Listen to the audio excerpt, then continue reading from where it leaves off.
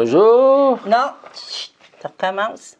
Quoi? Ben non, c'est tout à toi qui dis bonjour en premier. Bon, ben vas-y, dis bonjour. Allô tout le monde? Non, tu as dit bonjour. Tu n'as pas dit allô, tu as dit bonjour. Allô, ben bonjour ou allô, c'est pareil. Allô, c'est pas au téléphone? Non, c'est quand tu planches. Allô?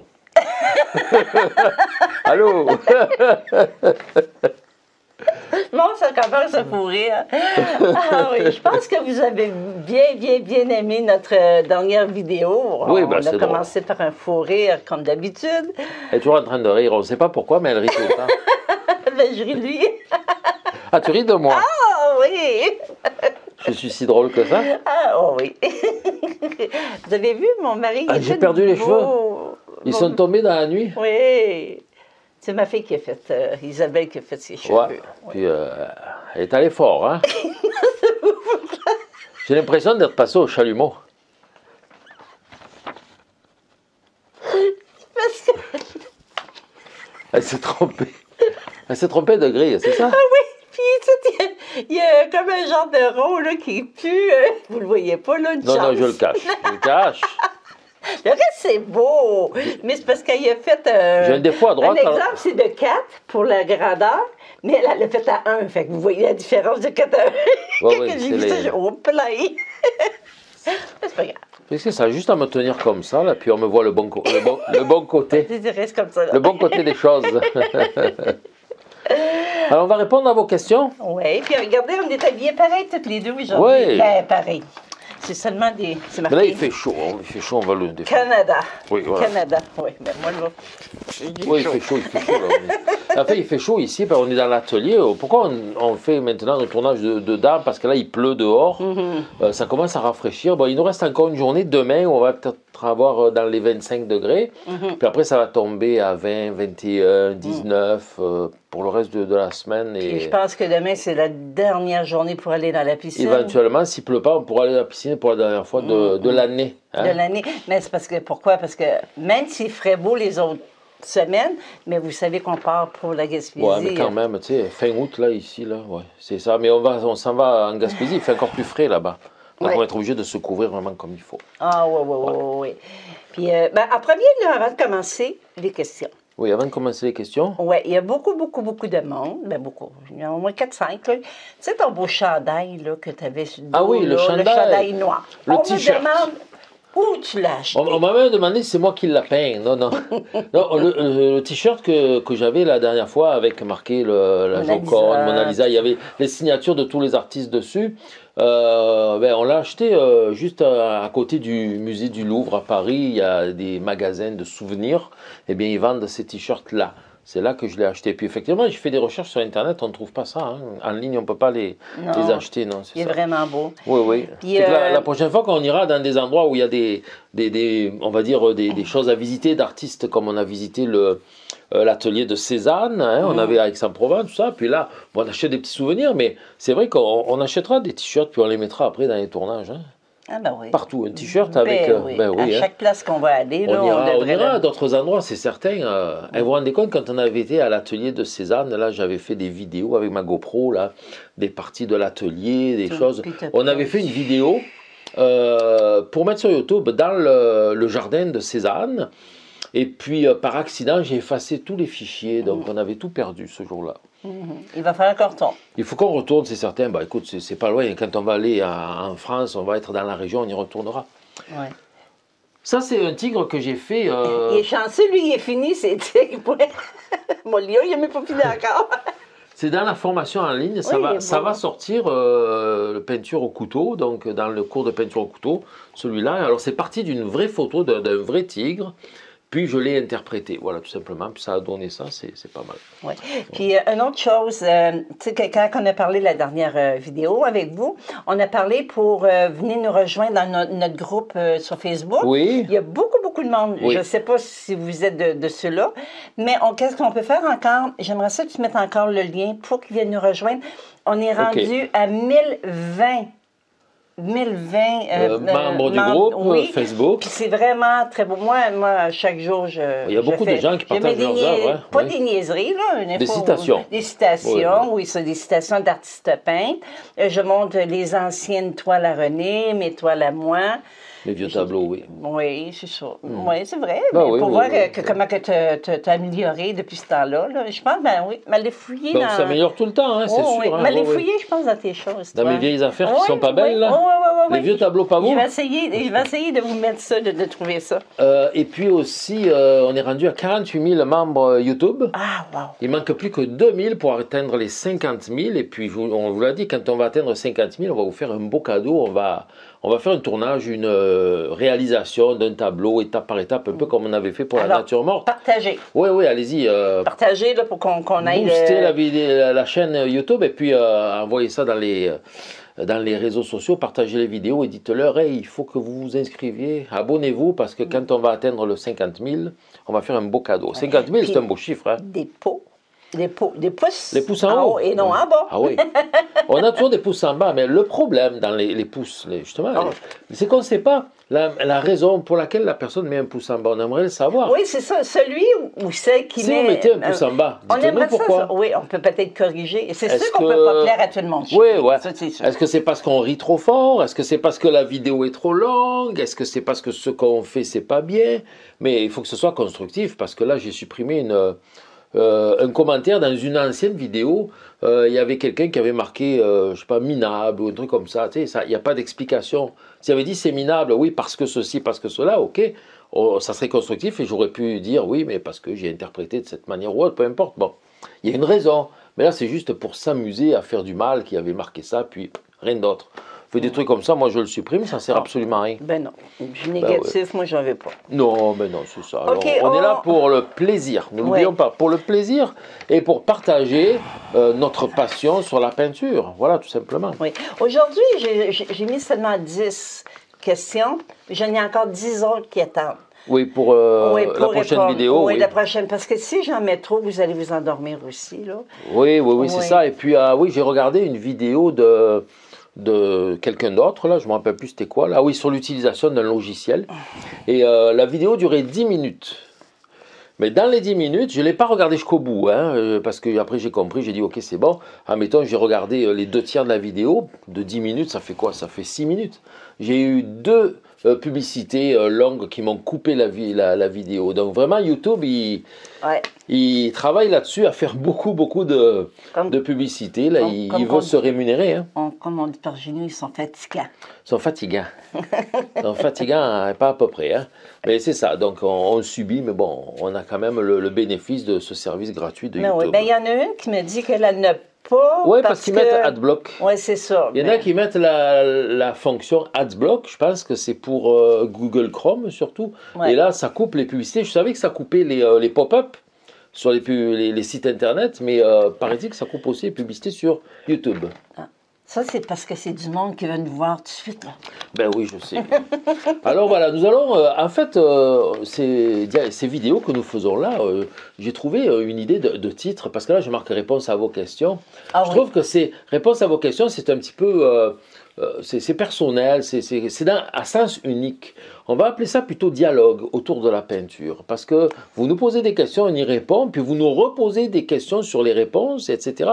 C'est vraiment comme un dialogue. Alors oui, nous faisons donc là Comme un là, dialogue. Un dialogue euh, dans, ici dans la. Là, on est à l'atelier, mais ça pourrait être euh, dialogue sur la peinture à Kamouraska, dialogue sur la peinture à Saint-Jean-Port-Joli, dialogue sur la peinture à Percé. Ouais. Puis quand on va voyager, j'ai trouvé, mais je pense que je l'avais déjà dit, on l'avait beaucoup, beaucoup Oui. dit, on voulait se faire appeler Globe Panther. Mais, euh, Globe. Mais Là, pour l'instant, c'est juste la région peinture. Parce que on peut plus voyager pour l'instant. Pour peut plus. Mais quand Non. on reprendra les voyages, on va, on va vous faire des vidéos sur des sites euh, pittoresques, c'est des sites intéressants. On, va, voyager pour vous, pour vous montrer qu'est-ce que vous aimeriez voir, vous aussi. euh, Oui, ça sera, bon, on répondra aux questions devant des sites, tout ça, mais on va aussi euh, réaliser des choses comme peut-être un petit cours de, pas un petit cours, mais une petite vidéo de Mm. peinture où, euh, où je peins sur le motif, ou peut-être parler de technique aussi. Alors peut-être qu'on va, à un moment donné, on va moins répondre à des questions.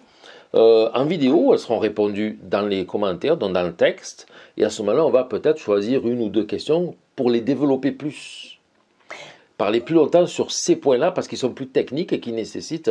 C'est un petit peu comme un cours tellement que c'est intéressant d'en parler. Je ne sais pas hein, si ça existe comme nous, hein. Réponse Bah, à, aux tout existe, mais, euh, non, mais comme qu'on fait, non, comme qu'on fait, je pense pas. En chinois, peut-être. En non. russe. C'est c'est quoi une euh, non, ok. Non, mais on n'est pas, le seul à- on n'est pas les seuls à faire ça. De toute façon, regardez bien. Je ne sais pas si c'est nous qui l'avons parti, qui l'avons commencé de répondre à des questions, mais il y en a d'autres qui le font. Euh, je l'ai vu euh, euh, en dehors de la peinture, donc dans d'autres thématiques que Ah, la peinture, mais aussi un artiste peintre qui s'appelle Sylvain Loisan, que je vois sur YouTube et qui fait un petit peu comme ça aussi, surtout que le pauvre, il a eu un gros dégât. Son atelier a été complètement détruit par un dégât d'eau. Et là, maintenant, il est obligé, en attendant que les travaux se refassent, de, ben, il fait ses, euh, ses vidéos comme ça dans son salon, dans ses, ses pièces euh, d'habitat habituelles. Et comme il ne peut pas peindre, il ne peut pas faire des cours de peinture comme il faisait d'habitude, alors il répond à des questions comme ça, euh, il critique des œuvres, des choses comme ça. Il fait Mais, mais c'est bien, c'est bien que pour vous, pas seulement nous, là, il y en a plein, plein d'autres artistes, Oui. avoir d'autres opinions aussi. Ben on oui. n'est pas tous, on on n'est pas unique. Ben, Oh, ben, on moi, n'est pas moi, unique. personnellement, j'ai appris de Beaucoup. la peinture de nombreux professeurs. hein. J'ai Ouais. suivi de nombreux cours avec des professeurs différents, justement, pour aller chercher un petit peu le meilleur de chacun, ce que je trouvais de bien chez chacun. Ben, moi, je suis pas avec toi. Toi, tu es prise avec moi, ben voilà. Parce que si je vais voir un autre peintre, il va dire Oh non. Ben oui, c'est comme si j'allais voir euh, la Joconde. La Joconde. Ah oui, j'ai mis, j'ai mis, je ne sais pas si vous l'avez vu là, dans notre site là, Oui, dans Facebook. Facebook, oui. J'ai mis les deux dames de René. J'ai mis la Jaconde et moi aussi en- que quelqu'un m'avait fait euh, l'année passée. OK, on va commencer. Allez. Bon, on commence par Louisa à Ara. J'ai remarqué que là, attends une minute. Oh non, OK, c'est correct. J'ai remarqué que là où vous mélangez la peinture, le truc genre petit tapis est de couleur grise. Oui. Pourquoi cette couleur? Ah oui, pourquoi cette couleur? Ben, les, les palettes, je, je l'ai ici. là, Ah, pas- tu l'as ici. La palette grise, c'est d'un gris neutre, donc ni trop chaud ni trop froid. Ben, c'est bien parce que ça nous permet de mieux évaluer la- nos couleurs, surtout la valeur de nos couleurs avant de l'appliquer sur la toile. Tout simplement, par exemple, si vous prenez une palette blanche, toutes les couleurs sur la palette blanche vont vous paraître plus foncées que ce qu'elles vous paraîtraient si elles étaient sur une palette grise. Et donc, elles vont vous paraître peut-être aussi plus foncées que lorsque vous allez les appliquer sur la toile. Admettons, vous faites, euh, je ne sais pas moi, euh, un bleu pour votre ciel, mélangeant du blanc et du bleu sur une palette blanche. Vous allez faire votre couleur, vous dire, ah ben c'est, c'est, bon, elle est, suffisamment euh, foncée. Et vous arrivez sur votre tableau, vous l'appliquez, là vous dites, ah ben non, elle est trop pâle, elle n'est pas assez foncée. Pourquoi? Parce que vous étiez sur une palette blanche et là vous arrivez sur un tableau où il y a peut-être déjà eu quelque chose dessus. Vous voyez, un exemple. Si on travaillait sur une palette noire, eh bien toutes les couleurs nous paraîtraient plus pâles. Et arriver sur la toile, ben, elle serait trop foncée parce qu'elle nous paraissait plus pâle. Donc il faudrait corriger ça. Alors la palette grise, ça nous permet de mieux évaluer d'une manière moyenne la valeur de nos couleurs, de nos mélanges de couleurs, pour que lorsqu'on va arriver sur notre toile, elles aient la bonne couleur. Et d'ailleurs, c'est un phénomène qu'on retrouve aussi lorsqu'on commence un tableau. On part sur la toile blanche, et bien souvent, quand on part sur la toile blanche, qu'on applique nos premières couleurs, on va les trouver trop foncées. Mais il faut se dire, attention, ça paraît foncé, c'est normal, parce que ma palette, ma, toile est blanche. Et lorsque j'aurai placé les autres couleurs autour de celle-là, eh bien, ça va aller mieux, parce que le- les autres couleurs auront foncé la surface sur laquelle j'applique les couleurs. Donc ça, c'est important aussi d'en tenir compte. Alors c'est pour ça que les fabricants de palettes, comme euh, je pense Canson, puis là c'est Masterson que j'ai ici, ils font des palettes grises maintenant, c'est bien. Si vous travaillez sur une palette en bois, eh bien c'est bon, c'est corrigé, puisque le bois n'est pas blanc, le bois n'est pas foncé, il est quand même assez moyen. Par contre, il est d'une couleur chaude, alors vos couleurs peuvent vous paraître plus froides, vous voyez. Mais, euh, Il y a aussi les palettes euh, en verre, on a, on a mais j'ai, que j'ai moi. Oui, la palette en vitre, en verre, parce que c'est celle que j'avais faite avant. Je pense que oui, mais moi, elle est grise. Oui, parce qu'elle est peinte en dessous. Ah, OK. Et d'ailleurs, je pense, je pense que ça existe maintenant aussi des palettes en plexiglas ou en verre Mm. qui est grise, qui ont été peintes en dessous de gris. Moi, Ah, mais fait, j'avais fait couper euh, une, du- une palette euh, chez un vitrier à la dimension de ma boîte de peinture. Et après ça, j'avais peint l'endos en dessous avec un gris neutre. Puis j'avais verni pour que la peinture soit bien collée. C'était de l'acrylique, bien entendu, avec du vernis acrylique, deux, trois couches de vernis acrylique pour pas qu'elle se graffine et que le gris s'en aille. Euh, je voulais en venir. Oui, ben c'est ça la, palette que j'ai pour peindre dehors, hein, que j'ai acheté sur internet aux États-Unis. Euh, elle est en plexiglas, il y a du gris en dessous. Ah, elle est grise aussi déjà. Je l'avais acheté, hein, comme oui, je l'avais acheté, c'est euh, c'est ça. Hein. ça, s'appelle Day Tripper. Day Tripper Easel. Mm-hmm. De. Ouf, le site, je ne me rappelle plus. Tu as quelque chose de tes. non, tu as quelque chose de ah. Ah ben là, qui reste sur un de tes poils. Des trippers de... Pour un pinceau. Prolific Painter. Voilà, le site internet, c'est Prolific Painter. Hey, en parlant de cournoisseur, il y en a-tu qui ont eu de la difficulté à l'épeler, ce mot-là? Connoisseur. Ben oui, oui c'est C-O. Deux N? Deux N. O-I. Oui, deux S, E-U-R. C'est ça, connoisseur, ouais, c'est ça. Connoisseur. Alors, il y a quelqu'un qui a dit qu'il les a vus sur euh, Amazon mais ah que c'était une imitation fabriquée en Chine. Oui, faites attention. Oui, oui, c'est sûr que Oui. OK, on continue avec Odette Dionne. Y a-t-il une façon de voir avec la perspective ce que l'on voit au, du dessus des tables dans une salle à dîner? Oui, ben oui. Euh, toute perspective euh, est basée toujours, toujours sur euh, le niveau, le, en vertical comme ça, à quel niveau nous avons nos yeux? Toute la perspective est basée là-dessus, on appelle ça la ligne d'horizon.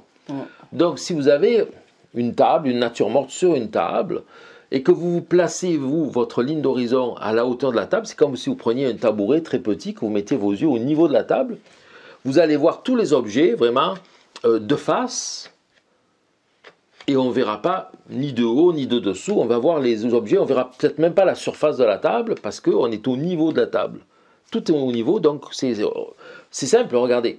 Mettez des objets sur une table, et puis vous vous mettez accroupi, sous, que vos yeux soient plus bas que la table. Donc là, on ne voit pas les objets, puis on ne voit pas la surface de la table. Et petit à petit, vous allez monter doucement, doucement, jusqu'à ce que vous arriviez à juste voir les objets, puis pas la table. Ça, c'est un point de vue qui est très utilisé en peinture de nature morte. Vous voyez, on voit les objets, mais on ne voit pas le support, on ne voit pas la table. Ils sont très alignés donc à ce moment-là. Puis plus vous allez monter, vous allez monter, vos yeux vont monter, vous allez commencer à voir le dessus de la table. Et là, on commence à avoir une vraie perspective, où vous allez voir aussi parfois le dessus des objets. Et plus vous allez monter, plus vous allez voir votre table. Elle va devenir plus grande dans votre champ de vision. Et les objets de dessus, jusqu'à ce qu'à un moment donné, ben, on voit tout ce qu'on appelle en plan, où les objets sont euh, en dessous. La table aussi, elle est vraiment rectangulaire ou carrée. Vous êtes à la place du lustre au-dessus. Voyez Donc tout ça, ce sont des points de vue possibles. Tout ça, ce sont des, euh, des représentations de la perspective. Et ça répond à votre question dans le sens où oui, on peut, absolument on peut, mais c'est à vous de voir à quel niveau vous allez mettre votre ligne d'horizon, c'est-à-dire la hauteur de vos yeux, tout simplement.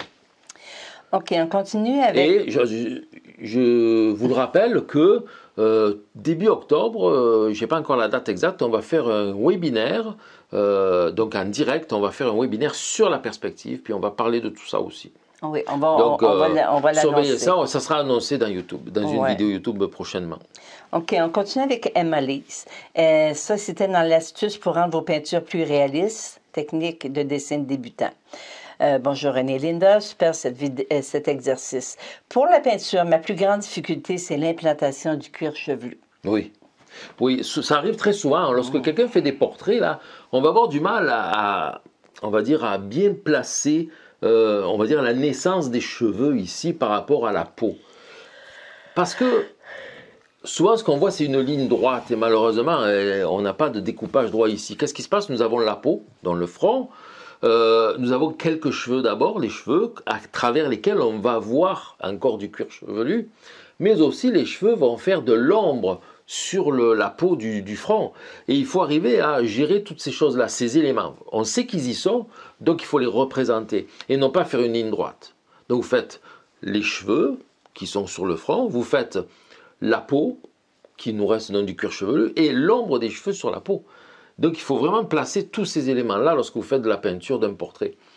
Et ça va vous générer ici euh, si vous voulez, un découpage entre la chevelure et le, le front, un découpage qui sera euh, naturel, qui ne sera pas trop franc, qui ne sera pas trop droit et qui va vraiment représenter le, le- le portrait plus réaliste aussi.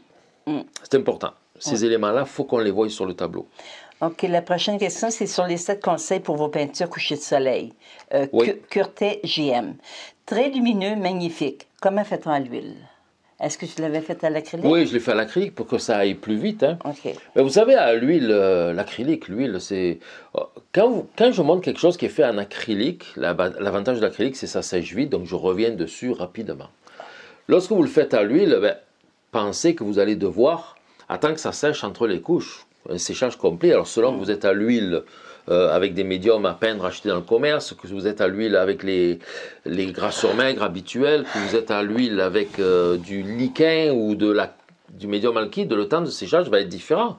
Mais de toute façon, il faudra attendre que ça sèche pour pouvoir revenir dans le, sur le tableau Travailler. sans que tout se mélange. Donc, les parties où vous me voyez mélanger, fondre les couleurs en acrylique, fondre les couleurs en acrylique, c'est une difficulté. À l'huile, c'est plus facile. Vous faites la même chose avec de l'huile, ça va fonctionner plus facilement. Mais là, vous voyez que je dis, bon, ben, j'attends que ça sèche, je reviendrai y travailler après. Ben, là, vous attendez que ça sèche aussi en l'huile, donc il va falloir attendre peut-être une semaine. Mais le principe, il est là. C'est juste ça. Puis après, ça, ça fonctionne pareil. hein. OK. C'est ça. C'est ça qui est ça. C'est. Excusez, je bois beaucoup, je sais pas Elle est pourquoi. là. fatiguée, Non, je- Vous savez, c'est peut-être nerveux. Non. Quand, oui, ça arrive aussi des fois, c'est psychologique. Quand j'étais- quand j'étais jeune, à chaque fois que je rentrais dans une église, j'allais à la messe Oh, avec mes grands-parents. ma ma grand-mère était très croyante, euh, ma grand-mère euh, maternelle. Et euh, comme je passais beaucoup des vacances chez eux quand j'étais enfant, ou, enfant, elle m'amenait à l'église le, le- le dimanche, des fois le samedi soir. Puis euh, à partir du moment où je mettais les pieds dans une église, je me mettais à bailler toutes les 30 secondes. C'est fou, hein? Dis-moi, tu pleurais pas. il y a des moments où on se dit, oh, faut pas que je baille, faut pas que je baille, puis là, ça bien. Euh, L'autre chose aussi, euh, quand je fais des, de- quand je réponds aux demandes de correction, quand je fais des corrections, ça m'arrive la même chose. Quand je fais des corrections en ligne, là, je suis sur ma, ma tablette graphique, je parle, je- il y a des moments où je me mets à bailler. Aïe.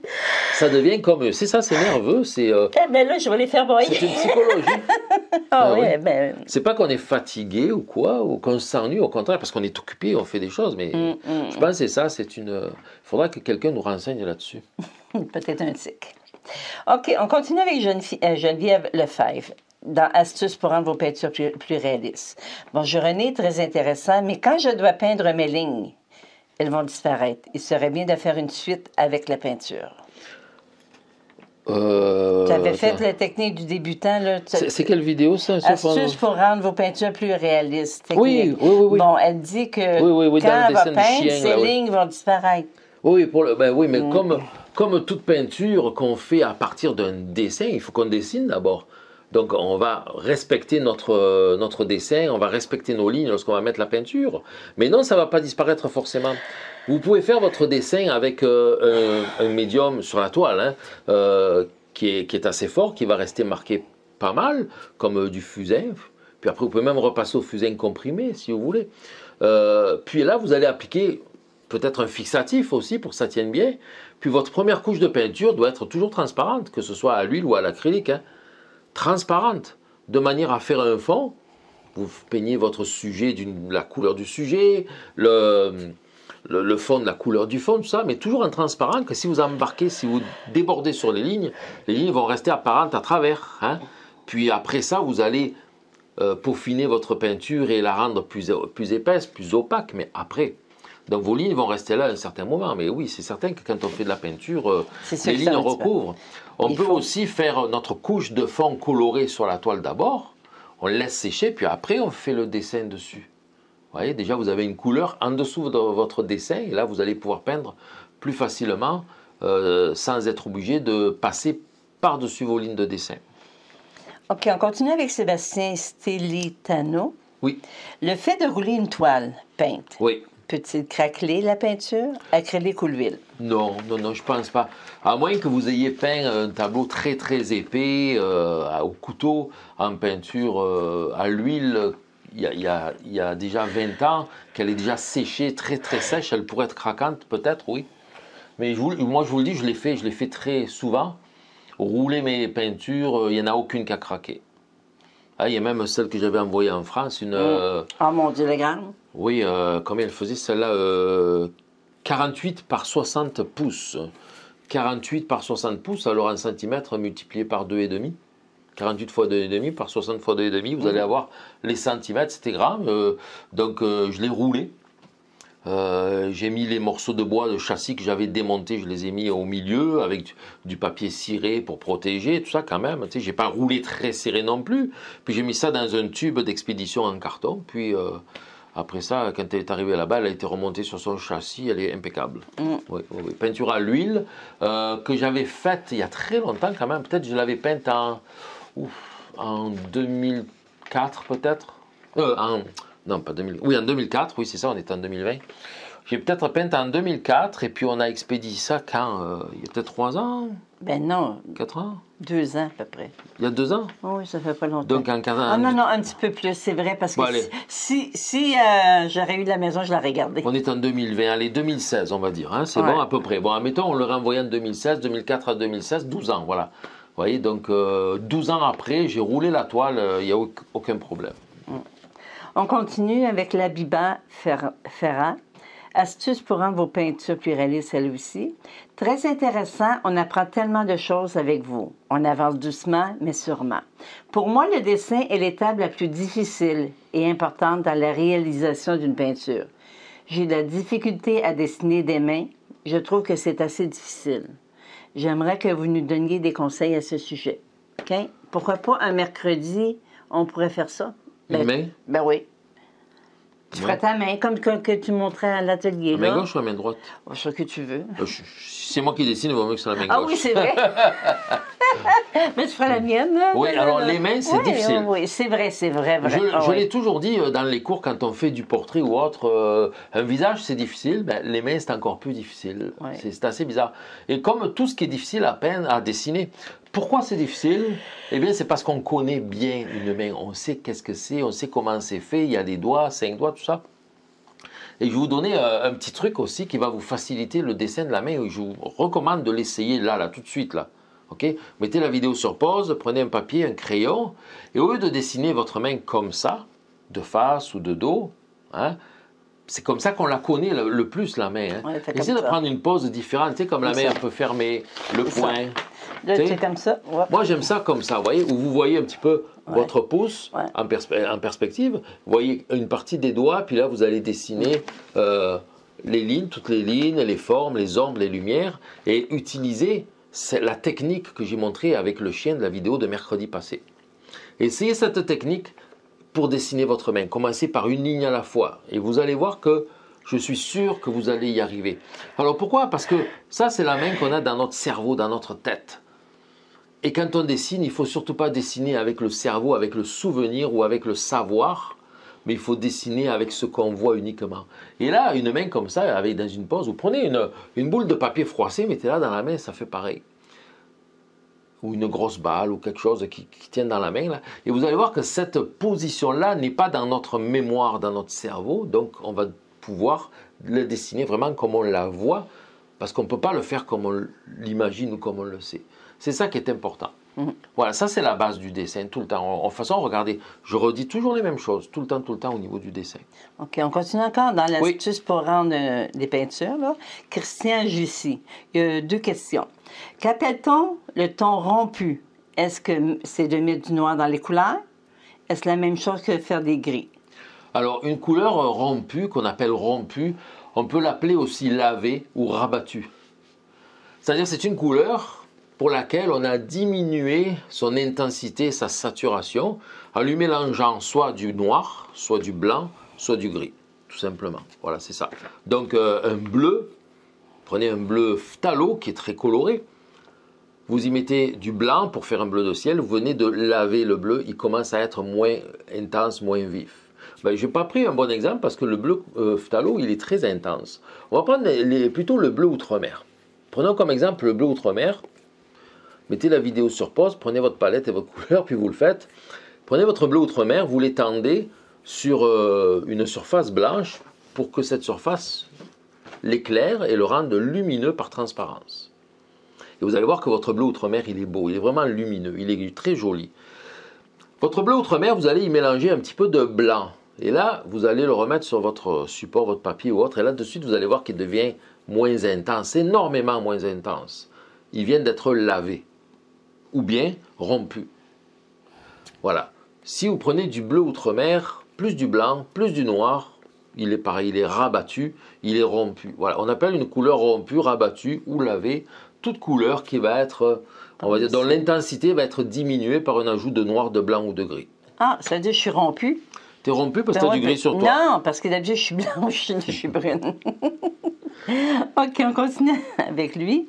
Euh, quand vous dites de mettre plusieurs couches de vernis sur la toile, faut-il penser entre chaque couche? Surtout pas. Ou revenir directement sur la non, couche surtout précédente? pas. Alors, euh, oui, je comprends l'idée parce que euh, si vous faites, euh, prenez une planche de bois puis que vous voulez la rendre brillante, lustrée comme de la vitre, vous allez mettre du vernis et, en plusieurs couches et poncer entre chaque couche pour enlever ce grain qui se crée pour rendre la, toile plus brillante. On parle de brillance. hein. Mais en peinture, il ne faut pas faire ça parce que si vous allez euh, poncer entre les couches de vernis, vous allez rendre votre peinture euh, grise, opaque. Vous allez, votre vernis va devenir blanchâtre. Vous allez vraiment abîmer la peinture. Donc, entre chaque couche de vernis, on ne ponce pas, on applique les couches les unes sur les autres, surtout sans y toucher. Si vous voulez vraiment que ça brille comme, euh, admettons, une planche sur laquelle vous avez mis euh, cinq couches de vernis en, ponce- en ponçant entre les couches, et là vous allez avoir quelque chose de très lisse et très brillant. Si vous voulez avoir ça sur une toile, ben, utilisez de l'époxy, de la résine époxy. Ah oui, ça c'est beau. Là, ça va briller. Oui. On continue avec Anne-Marie Verratti, encore dans les astuces. Là. Super vidéo, merci. Ce qui, me, co- ce qui me pose vraiment des problèmes dans la peinture, c'est d'arriver à superposer deux couleurs dans le frais. Dans vos cours et vidéos, je vous vois placer des touches claires sur du foncé et inversement sans problème. Oui. Moi, je n'y arrive pas. Je dois avoir des pinceaux, non, je dois avoir des pinceaux magiques qui font disparaître la couleur au lieu de la déposer sur la toile. Le problème vient peut-être de la consistance de la peinture. Trop de médium ou pas assez? Oui, c'est sûr, c'est la consistance, oui. Euh, pas, pas tant, la- non, pas tant la consistance de la peinture, mais la quantité de peinture sur le pinceau aussi. C'est un mélange des deux, on va dire. Pour pouvoir superposer, on parle de peinture à l'huile obligatoirement, là, pour pouvoir superposer une couleur sur une autre, il faut que celle qu'on vient mettre par-dessus soit plus épaisse, euh, soit plus en grosse quantité. Pas forcément plus épaisse, mais qu'il en ait plus sur le pinceau. Et il faut que celle qui est sur la toile soit euh, pas en épaisseur, justement, parce que si vous en mettez trop au premier coup de pinceau, le deuxième ne fonctionnera pas, il va, il va se mélanger à la couche précédente. Donc voilà, quand vous me voyez peindre comme ça, c'est que mes premières touches, je les peins avec une peinture peut-être plus liquide, plus diluée, mais j'en mets très peu. Je fais frotter ma toile, je viens à peine teinter ma toile. Il n'y a aucune épaisseur de peinture sur la toile. Et là, ce qui va me permettre, après, à la deuxième couche, de revenir dessus avec un peu plus épais. Et la peinture va se déposer et rester à la surface de la première couche, qui, elle, était extrêmement mince. Voilà, c'est ça le, le secret, il est là.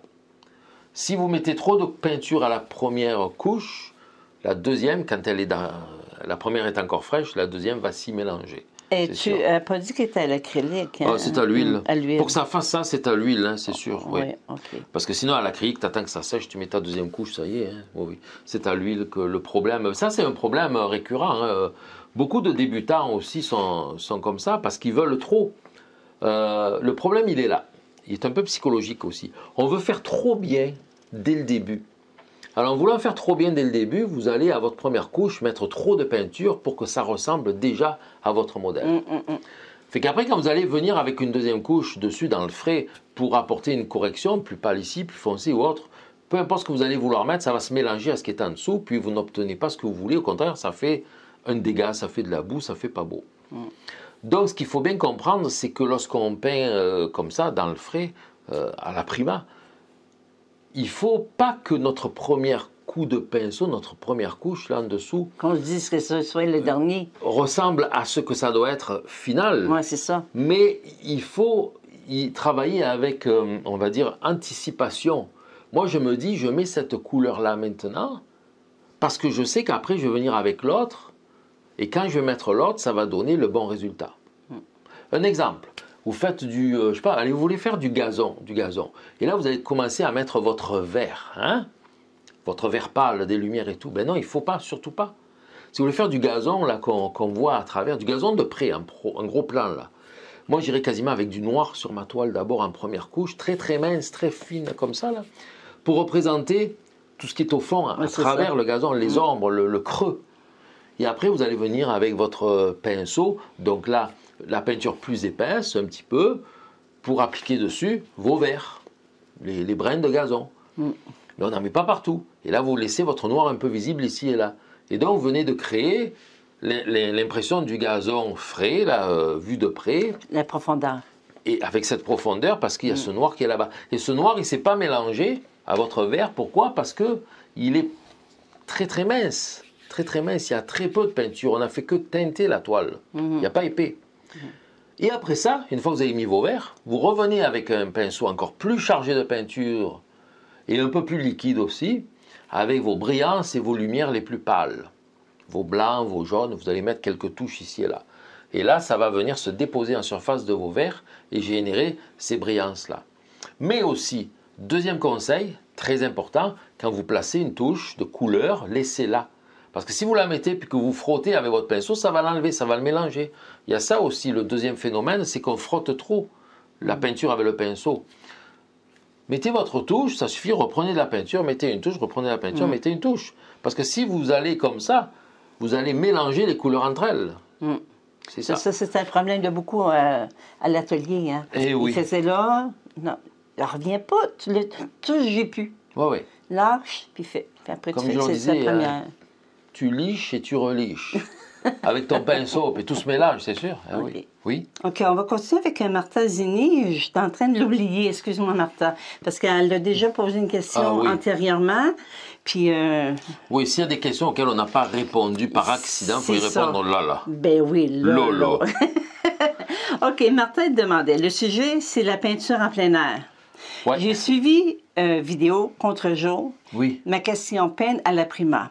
Et terminer l'œuvre sur place ou à l'atelier. Le risque à l'atelier, c'est de mettre trop de détails et perdre la spontanéité de la nature. Ce qu'on voit dans certains tableaux. Qu'en pensez-vous? Ben oui, c'est sûr. D'ailleurs, justement, alors, euh, quand on a fait ce tableau, euh, on était en Bretagne, sur la plage, mm-hmm. et il y avait beaucoup de vent, beaucoup de vent on n'était pas dans une condition favorable pour faire la peinture. Qu'est-ce qu'on fait dans ce cas-là ben, On va peindre vite et après on va le finir en atelier. Bon, effectivement. Mm. Alors, quand on peint euh, sur le motif, on a les vraies choses sous les yeux. Alors même si on ne termine pas le tableau, il faut qu'il reprenne exactement les bonnes couleurs, les bonnes valeurs de tous les éléments que nous avons sous les yeux, les bons contrastes, toutes ces choses-là, mais sans rentrer dans le détail. Après ça, quand on va le finir en atelier, oui, on peut s'aider d'une photo qu'on aura faite sur le site, mais par contre, il ne faut pas revenir, remettre toutes les couleurs que maintenant on a sur la photo, qui sont différentes de ce qu'on avait sous les yeux. Ça, c'est vraiment très important. Alors la photo va nous servir de référence pour... Euh, je sais pas moi, pour les, petits détails, tu ici les, les, fenêtres de la maison, les volets, les, petites lignes qu'il y avait dans les volets, ou je sais pas moi, des, vraiment des éléments qui nous manquent, mais par contre, on va respecter toujours les couleurs qu'on avait faites sur place et les couleurs et les valeurs. Même ce que je recommande encore plus, c'est de ne pas prendre de photos et de ne pas y aller avec euh, une photo qui, euh, qui va nous apporter des informations complètement fausses et tout changer sur le tableau. Euh, moi, la plupart du temps, ce que je fais lorsque je vais peindre euh, sur le motif et qu'après je termine un atelier, comme je le dis tout le temps, je finis la peinture pour la peinture et non pas pour le modèle. C'est-à-dire que je ne veux aucune référence qui va m'aider à finir le tableau, mais par contre, je vais peindre la suite du tableau euh, pour lui, pour que ça continue à être plus beau. Là, je vais pouvoir ajouter des détails, peut-être même s'il le faut les inventer, rajouter des choses qui iraient bien à cet endroit-là si c'est mhm. nécessaire. Peut-être que je vais même supprimer des détails que j'avais mis, que mis sur place qui, qui, dérangent. Peut-être déplacer des choses ou autres pour la beauté du tableau, pour sa composition euh, et sa, sa, beauté finale, c'est-à-dire euh, composition, harmonie colorée, euh, Contraste profondeur, ça c'est très important, les profondeurs, ces choses-là. Donc on travaille pour le tableau et non pas pour le modèle. Parce que c'est sûr que si on, on s'attarde trop à vouloir euh, reprendre ce qu'il y a sur la photo, on va tout détruire, effectivement, comme vous disiez, euh, cette belle ambiance, cette belle atmosphère qu'on avait sous les yeux. Puis les photos ne rendent pas ce qu'on avait vraiment sous les yeux. Non, c'est seulement des photos. Hein. Oui. Donc, on finit avec euh, Anne-Marie Legrand. Oui. Euh, sur le tuto de peinture. Ah oui, c'était le tuto de peinture na- nature morte en peinture à l'huile, troisième partie. Ok, alors la troisième partie, je ne me rappelle pas c'est quoi. C'est ça. bon. OK. Bonjour René. J'ai découvert ce cours il y a peu et décidé de ré- réaliser cette nature morte. Telle que vous la... ah, c'est peut-être ta nature morte. oui, c'est ce qu'on OK, avait fait ici OK. en plusieurs étapes là. OK, tel que vous l'expliquez. Cependant, je trouve, je trouve qu'une fois la peinture mise sur le vase, ouais, sur le vase, je la trouve plus foncée que sur votre peinture. Pourtant, je n'ai pas mis beaucoup de peinture et j'ai mélangé avec du liquin. Est-ce que ce sont les lampes qui éclairent votre peinture, qui donnent cette impression, ou c'est vraiment assez clair? Probablement, ça peut être la clarté aussi. Oui, c'est c'est quand même euh, un tableau qui est relativement sombre hein, dans l'ensemble. hein. Oui, oui, c'est quand même assez sombre, effectivement. Bah, vous savez, euh, bon, on, on fait de la vidéo, hein. alors oui, il y a beaucoup d'éclairage ici, mais euh, la caméra va capter euh, avec certains euh, réglages. Ces réglages sont modifiables aussi. Puis après, quand on le met dans le logiciel de montage pour euh, rendre la vidéo, tout ça, là, encore une fois, on peut avoir des fois des ajustements. Moi, généralement, j'ajuste parce qu'on travaille avec plusieurs caméras, la balance des blancs n'est pas exacte à toutes les caméras. Donc dans le logiciel, je vais corriger la balance des blancs. Puis effectivement, donc il peut y avoir aussi votre écran d'ordinateur qui est différent du mien. Vous voyez, tout ça entre en ligne de compte. Ouais, hein. la, lumini- lu- La luminosité, oui, c'est ça. Ben oui, absolument. euh, justement, euh, comme quand je fais des, des peintures, euh, celles que j'ai faites, je suis en train de faire le- le- actuellement le paysage hyper réaliste euh, pour la formation. Mm. À la fin de chaque étape, je vais faire une capture d'écran de la vidéo qui prend le, tableau de, de proche là. Euh, je prends une capture d'écran pour me faire la, la photo euh, de- du tableau à la fin de cette étape. hein. Et là, je la mets dans, le, dans mon ordinateur où je vois toutes les photos de chaque fin d'étape. Étape 1, 2, 3, je suis rendu à la 6 bientôt. Donc là, et là, je vois que non, elle est beaucoup plus sombre que l'autre. Ouais, elles sont côte à côte. Qu'est-ce qui s'est passé? Ben, C'est ça, c'est une question de, de captation de, de l'image par l'appareil. Alors il a fallu que je la mette dans Photoshop, que je la rééclaircisse pour qu'elle ressemble aux autres.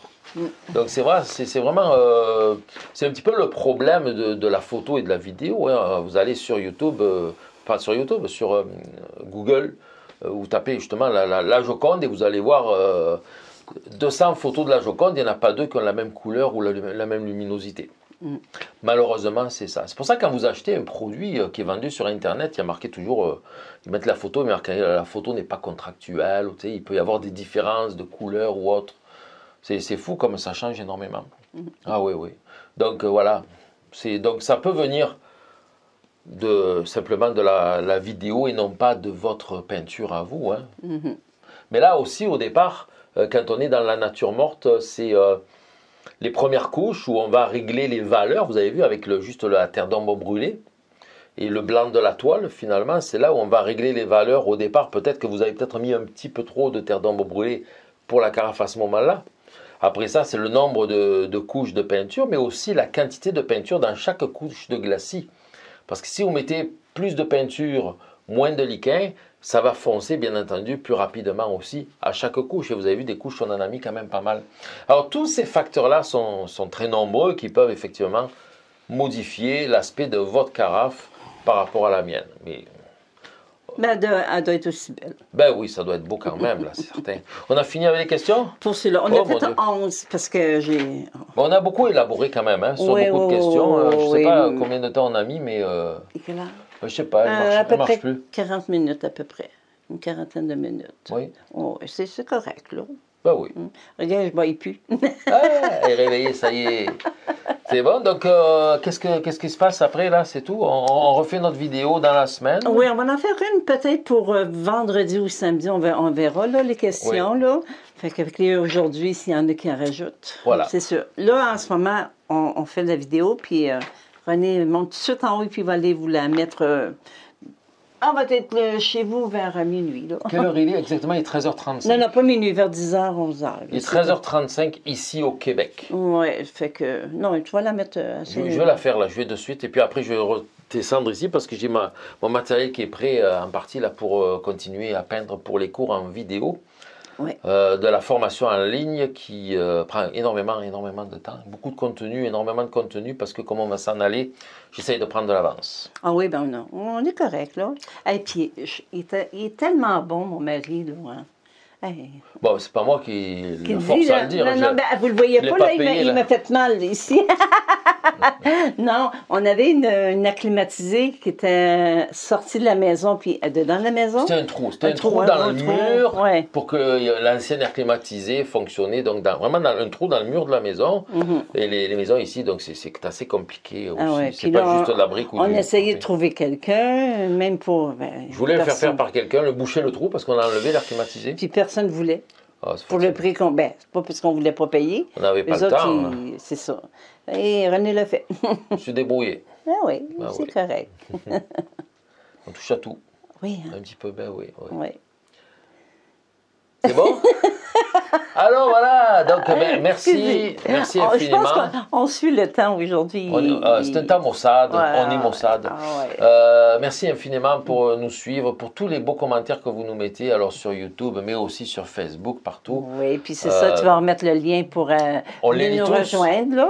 C'est sûr que là, on vous parle à vous tous ensemble, là, mais euh, on vous parle aussi individuellement, hein, Ouais, à vous, chacun de vous. Ouais. Nous vous suivons, euh, vous nous dites où vous êtes, on l'a vu, on l'a marqué euh, dans, dans les commentaires, et- à Ah. plein d'endroits de France et d'ailleurs dans le monde. Oui, c'est- quand vous me parlez, parfois j'ai pas le temps de. Oui, oui, c'est pas parce que je le lis pas, je le lis, puis quand je fais un cœur, c'est moi. On aime ça quand vous nous dites je suis de tel endroit, telle région, tel pays, telle région de France ou autre, parce que c'est vraiment intéressant. On voit euh, le, le- le globe comme ça et on, et on sait où on va aller voyager. Oui, c'est vrai, hein? On a Ah envie ouais. de venir vous voir. Ah oui, Ouais. j'espère que ça va bien chez vous, puis euh, Oui. n'aura pas un autre confinement. Oh, mon mais, Dieu. Sa, maman qui est Que en le- France, ça dit. On a vraiment hâte que le coronavirus soit derrière Ah. nous, là, qu'on puisse revivre comme on vivait avant, parce que c'était tellement agréable. hein, Oui, on bon, pouvait aller n'importe où, voir le des- voyage, surtout les ouais. voyages. Oui, oui, Les- oui, oui. visiter du monde, et puis... euh, Tellement là, qu'on était dans la piscine hier, on s'est dit, on s'en va-tu un mois, mais pas en Gaspésie, on va aller un mois dans, dans le sud, là. Mais on peut pas. ouais. Ah, c'est pas grave. Bon, mais la Gaspésie, je suis sûre que vous allez aimer. Vous allez beaucoup aimer. Oui. Nous autres aussi. Mais vous allez certainement nous voir pas mal couverts, Oui, là, Bien là, habillés. on va être... on va surtout si on est dehors. Oui, Ouais, c'est pas grave. pas grave. C'est Ben, on, on est des ours, hein. On n'hiverne pas, là, mais on est des ours. on est ben, on- ben, non, je ne suis jamais habituée, moi, à l'hiver, moi. Moi, tant qu'à moi, là, j'irais... euh. C'est ça que je me disais tantôt. Mais les ours, ça sent fort quand même. hein. Je me disais tantôt, j'ai dit, en, en tout cas, en tout cas, en tout cas, mais en tout- depuis, depuis que vous me, nous suivez, moi, c'est depuis le mois de mars, j'ai intégré avec René. Oui. J'espère que vous comprenez maintenant mon patois, comme on dit par chez nous, euh, Oui, ben- ma manière de parler. Euh, et ou si vous avez encore la difficulté, ah, qu'est-ce qu'elle dit? Je ne comprends pas. On va faire une vidéo en joual. va aller oui. te parler en joual tantôt, tu vas voir, ça va être pas drôle. Là. Ah, ça me parle. Ah ouais, moi, j'aime ça. Ça, on va vous en faire une en joual. Ah, ouais. C'est bon? Oui, c'est bon. On vous fait coucou, bye bye. Oui. Puis à, à très bientôt, donc dans cette semaine pour une autre vidéo. Bisous, bye bye. Bye bye.